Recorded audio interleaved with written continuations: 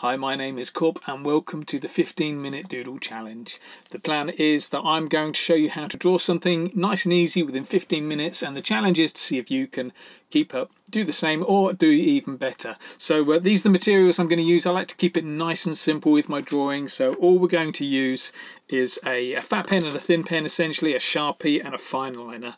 No pencils today because uh, it's much easier. You get on a lot faster if you don't bother using pencils. So just go and grab that Sharpie uh, and uh, let's set the timer. Are you ready? Let's do it. We're going to draw like a skull toadstool kind of character. So let's go first off uh, with a little curve going across right in the middle of the page there. This is going to be the base of the toadstool or the cover of it, the bottom of the cap of the toadstool just flick a few lines off either side. One there a little smaller one just there. Keep it nice and wonky as well. You see how I'm double lining everything I do here to make those lines wonky. Wonky lines easier to draw look much better as well. Just flick a little line off that side as well. So you just double line it. And a little tiny flick there one to finish off. Uh, and yeah, that's nice. Our skull is going to grow out from that section. Now, when I draw skulls, I like to keep them nice and simple or just do three teeth uh, two eyes and a heart shape for a nose. So let's go right down from the middle part there, down to about here, and let's put in three teeth. Something like that, a little bouncy line. Let's uh, double line that as well, so just making that line really wonky. Wonky lines, easier to draw, look much better as well, so that's why I like drawing them. A little flick either side, that's real wonky over there, that's okay though. We'll get away with that. Uh, and then what we're going to do is we're going to take those out those three lines. We're going to take a little line that can, kind of comes out and then up into this section, out and up into this section of uh, of that mushroom. Okay, so here we go. Let's go and try doing that. Let's go out to about there again. Nice and wonky. It's no no uh, kind of smooth lines. It's just a out up that's an even worse line that is because as I moved over my hand brushed against this bit so that's a lot straighter than I intended it to be. But you know when stuff happens like that don't panic, don't worry about it. You're going to make little mistakes or lines aren't going to be exactly where you want them. The only person who's going to know about that is you so don't worry about it too much. Okay, let's go and whack a couple of eyes in. So the couple of eyes would be two circles just there, but don't draw circles with just one smooth line. Let's draw a circle with a wonky line. So let's go something like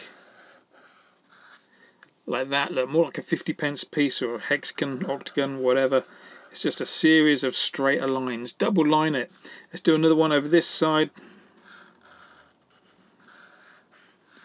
again going around twice to double line it make it nice and wonky uh, that looks pretty neat. I like that. Right, we're going to make the um, eyes look like they're like holes in the skull by adding a little bit of a 3D element to it. So you see that line there, that little curve there. We're going to bring that curve over to the right hand side a little bit. So like that. That looks nice. Same with this side. Look, that curve over that side. Let's bring it over here a little bit. So let's go about there. Yeah, that's not too bad. We'll finish this off, or the skull part anyway. We'll finish the skull part off with a heart, an upside down heart. If you can't draw a heart upside down, just turn your page the other way around and we'll, it's nice and easy to get a heart in there then. Okay, we'll leave it. Should we leave it like that? Let's let's go and colour in. It's always a little bit of a risk colouring in in the 15 minute doodle challenge because you do spend quite a lot of time throwing some colour on when actually you could be throwing on loads more lines. Plus, you know, what we're doing here with the 15 minute doodle challenge is essentially you're just creating your own colouring in sheets. So you should be doing this within 15 minutes and then going and playing around with some colours. But yeah, let's just get some, uh, let's carry on colouring in. Let's do the nose as well. I want to make it look like there's nothing inside that skull. Awesome. Okay, we're doing good. Right, let's uh, let's work on the top half of the toadstool. Now, so that's the skull part. Let's go and work on the cap. We're going to take a little line just below here coming from behind the skull. It's going to go around there and it's going to finish off just behind the skull over this side. So watch this. Look. Again, look, you can see how I did it nice and wonky. Not trying to make those lines too smooth. Smooth lines, overrated. Just go around it twice. wonk it all up as much as you can. Now, what we're going to do now is we're going to go and do that again, but this time, rather than going straight across and into this side, this time we're going to go up here and then down here and into this part. So to help us kind of break that down a little bit so that there's not so much uh, to work on, what we're going to do is going to put some uh, little spots on the top of the toadstool that we're going to hit first. So we can just do one section at a time, okay? So first thing, right, you see the edge of the skull here. Just go up from the edge of the skull there and let's just put in like a potato shape, a spud shape just there. Edge the skull, go up at an angle, spud shape. On this side, let's go to the eye. See where the eye is? Go up even higher. Another spud shape. Let's go that way around. Double line it. Nice and wonky, okay?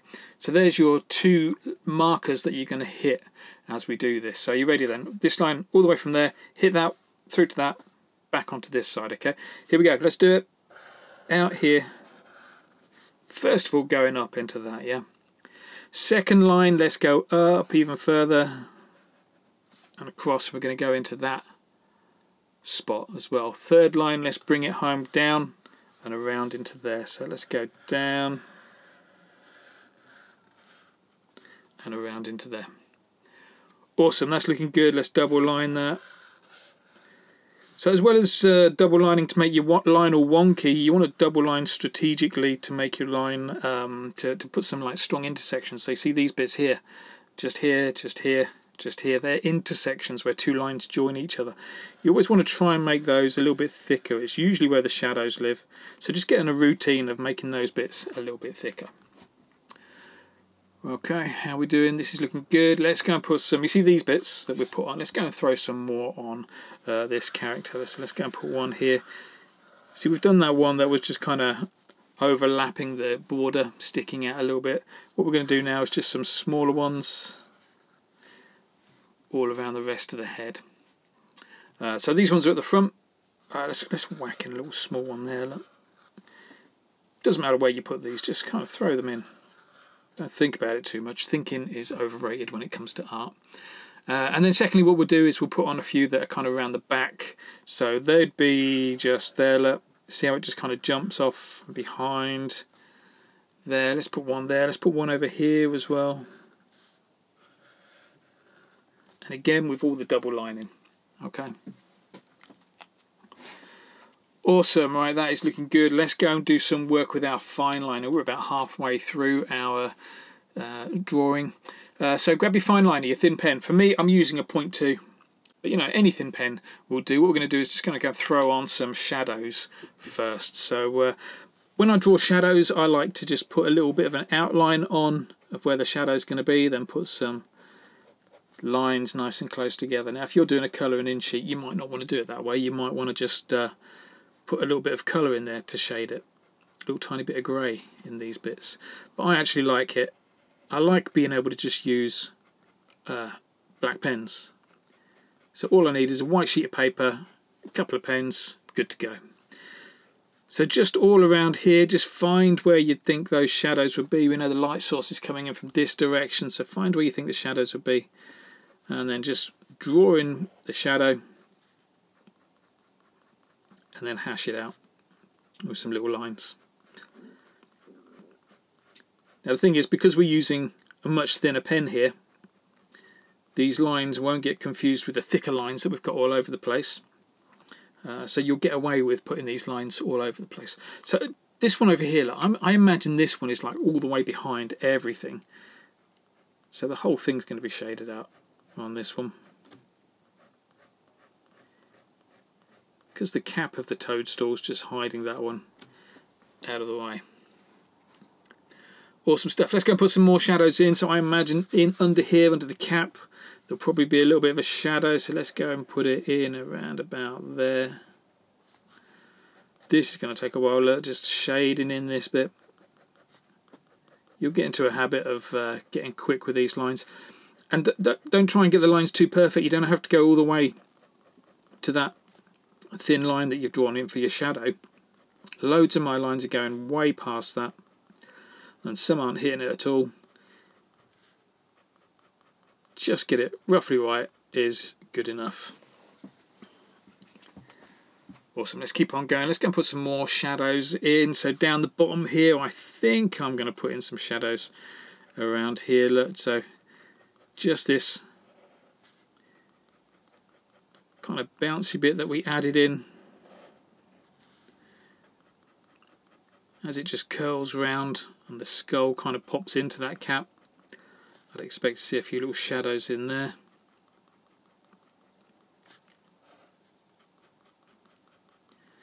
And uh, yeah, let's do let's do one just there. You can't go too far wrong on this. Just throw some shadows in. Doesn't matter if it's not perfect. We're not going after perfection. That is overrated. Okay, where are we going now? Let's go and put some shadows on the skull. So keep on going, look. Wherever there's things that are going to cast a shadow, go and throw those in. Yeah, that'll do. What about in there? Okay, let's get into these eyes. Now, I really want to have a bit of fun with these eyes. Uh, we want to take, you see, we, we did them like a real wonky line. The reason we did that wonky line is so that every time there's a bend in the line, we can flick a little line out. So watch this. What we'll do is we're going to make our character look a bit concerned. So just flick a little line out like that. Look, look at that. Same on the other side. Wherever there's a bend, just flick a little line out. Put as many or as few in as you want. I'm going to put one down here as well. Look. Maybe one going up there. You can see how we're just getting most of our chunky lines done with the fat pen, with the Sharpie. And then what we do is we just get in with this thin pen, add a little bit of finesse to it, and it starts to make it look like the whole thing's been done with a thin pen. Awesome, right, that's looking good. Let's go and throw in some uh, little lines, little curves around this nose. So watch this, let us go. Uh, how are we going to do this? Let's go, uh, I call this a floater. It's just a little line that just kind of sits on its own. It's not touching any other lines. Let's do one across the top as well. Look. double line it, even though we're using thin lines, you still want to double line it. Awesome. A few more shadows. Let's keep on going with the shadows down the bottom here. Giving everything just a little bit more shape by adding these little shadows. How are we doing for time? We've got three minutes left. Let's move it on. Those eyes, inside those eyes, let's just put a few little lines going this way, look, just to give a little bit more direction to the inside of those eyes. That's looking nice. Let's go and throw some cracks in as well. So I imagine a crack would be around about there. It's just a capital Y kind of shape. Look. Let's put in a crack there. Uh, where else can we put in a crack? I think that'll be alright. Let's get back with our Sharpie. We're going to put in some eyebrows. Watch this little floater of a line there float of a line there. Use the Sharpie to get the main part of the line in, then add a bit of finesse. Just flicking the lines off at the end there. Let's get up into the top. Let's go and put some little patches in at the top. So again with the circles shaded in.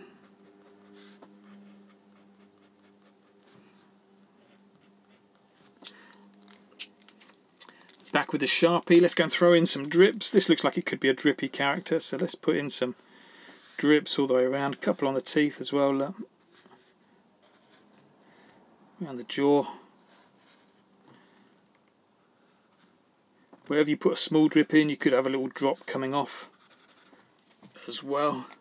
That looks nice. Go and throw in some quote marks. So thin pen again quote marks all over. Don't think about it too much. Just throw in a couple of quote marks, maybe even a hashtag here or there. Definitely going to flick in a little bit of hair. Let's flick out a couple of hairs. So we've got a hairy toadstool. Why not? And then around the outside edge, let's go and put some ink splats. This is a nice way of just doing something really simple around the outside edge. It's not complicated, but it just finishes off your artwork really nicely. clump them together as much as you can. Uh, there you go. That's not too bad. You know me, I like doing a little little flies, so I'm going to put in a few little flies as well.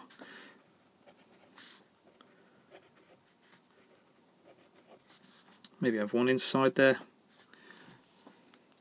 That's looking good. Let's go in with a couple of little lines, stitches. Why not put some stitches in? See what that looks like. Little drips. Little quote marks in there. And I think we are just about done. There we go. I'm going to leave it at that. That's 15 minutes now where we've done our skull toadstool character. So yeah, have a little bit of fun with that. See if you can do the same kind of thing. Uh, just add your own style to it as well. Mix it up a little bit. See if you can do something that's slightly different to what I've done. Don't forget to sign it and uh, use the hashtag DoodleWithKorp if you want to post it online so I can find it. Right, well done. I'll see you next week in another 15 minute Doodle Challenge.